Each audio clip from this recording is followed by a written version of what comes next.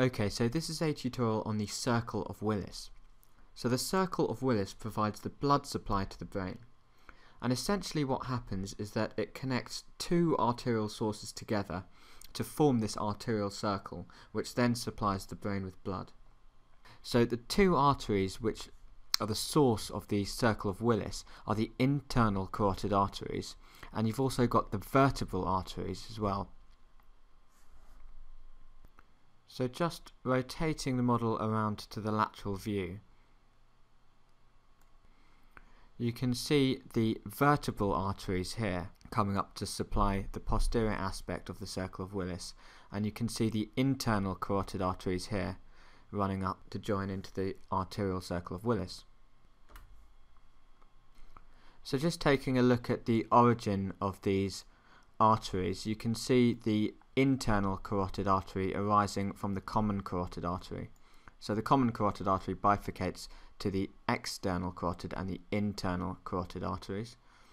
And the vertebral arteries arise from the first part of the subclavian artery. So you can see that here.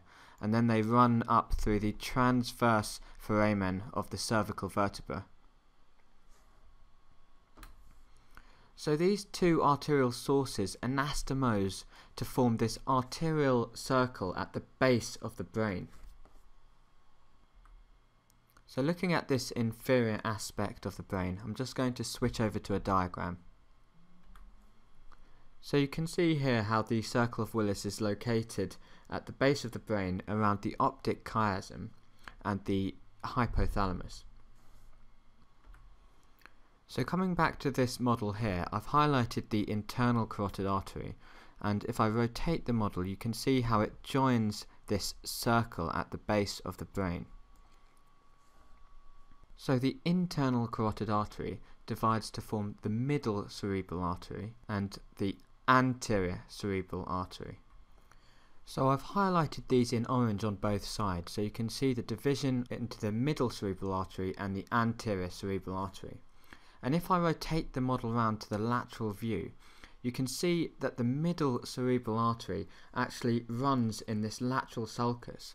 So this, this groove here, which I'm outlining in green, separating the frontal and parietal lobes above from the temporal lobe below, is known as the lateral sulcus or lateral fissure.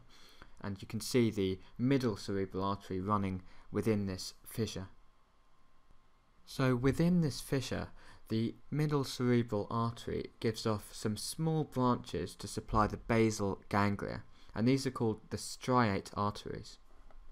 And just rotating the model round anteriorly, you can see this fissure running down between each hemispheres, and this is called the interhemispheric fissure or the medial longitudinal fissure, and the anterior cerebral artery runs in this fissure. So I've just removed the right hemisphere and rotating the model round you can see the anterior cerebral artery running along in this fissure. So just bringing the model back round to the inferior view you can see that there's this small connection between the anterior cerebral arteries and this is called the anterior communicating artery so it's a very short artery which connects these two together and then coming backwards off the internal carotid artery, you've got the posterior communicating artery, which connects the internal carotid artery to the posterior cerebral artery. So it connects the anterior circulation provided by the internal carotid artery to the posterior circulation, which is provided by the vertebrobasilar system, which I'm going to talk about next. So I've just highlighted the posterior communicating arteries in orange and you can see how they connect to the posterior cerebral arteries.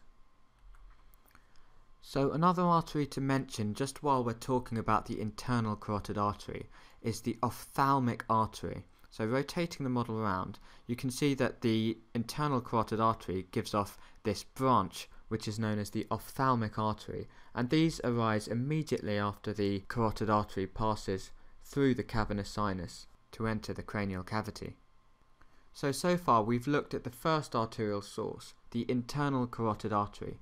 So we've seen how it divides to form the middle cerebral and the anterior cerebral arteries, and it also sends off a posterior communicating branch to join with the posterior cerebral artery, which comes off the vertebrobasilar system. So it's a part of the posterior circulation. So before describing the vertebrobasilar system, I'd like to just show you the territories of the brain which the anterior, the middle, and the posterior cerebral arteries supply. So I've just switched over to two diagrams of the brain. So the top diagram shows the medial aspect of the brain. And what it shows is that the anterior cerebral artery, which is represented by the blue shaded area, supplies the medial and the superior and lateral aspects of the cerebral hemisphere.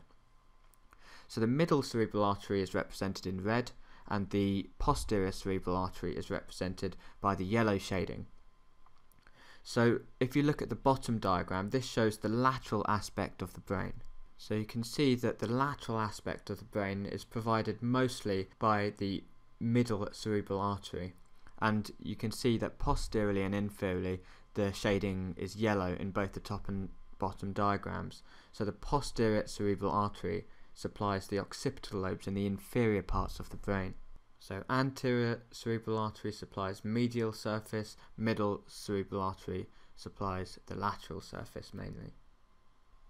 So just coming back to the 3D model, the second source of blood is the vertebrobasilar system, which provides the posterior circulation. So this system supplies the cerebellum, the brainstem, and the posterior parts of the cerebral hemispheres. So the basilar artery, highlighted in yellow, is formed by the union of the two vertebral arteries on either side. So these two arteries join together at the level of the bottom of the pons, so the inferior aspect of the pons. So I've just added in the brainstem here, and what you can see is the basilar artery running in the midline in front of the pons. And then you can see when it reaches the midbrain, it splits into the posterior cerebral arteries. So the basal artery terminates by splitting into the posterior cerebral arteries. So just taking a look at some of the branches of the vertebrobasilar system, there are three main branches which supply the cerebellum. So starting at the top, you can see that there are two branches which come off either side of the basilar artery just before it terminates to divide into the posterior cerebral arteries. And these are called the superior cerebellar arteries. So you've got superior cerebellar arteries and you've got inferior cerebellar arteries. At the inferior cerebellar arteries, you've got anterior and posterior inferior cerebellar arteries. So at the bottom of the basilar artery, you can see the anterior inferior cerebellar arteries. And then you've got the posterior inferior cerebellar arteries, which actually come off the vertebral arteries. So they come off down here. So as well as giving off the superior cerebellar artery and the anterior inferior cerebellar artery, the basilar artery also gives off several small pontine arteries, which I've just drawn on there. So we've seen that the vertebral arteries have the posterior inferior cerebellar artery coming off it, but it's also got two other branches. So it's got the anterior spinal artery. So I've just drawn that on here and you can see how it comes off the vertebral arteries to unite and form this artery which runs down the anterior median fissure of the spinal cord. And similarly, you've got a posterior spinal artery which runs down the posterior aspect of the spinal cord. So you've got three sort of branches coming from the basilar artery, the superior cerebellar artery, the anterior inferior cerebellar artery, and the pontine arteries. And then you've got three branches which come off the vertebral arteries. So the posterior inferior cerebellar artery, and then you've got the anterior and posterior spinal arteries. So we've looked at the anterior circulation originating from the internal carotid artery, and we've looked at the posterior circulation originating from the vertebrobasilar system, and you can see that there's this communication between both circulations via the posterior communicating artery, which I've highlighted in green. And this artery connects the internal carotid to the posterior cerebral artery, which I've outlined in yellow. So that's the arterial circle of Willis.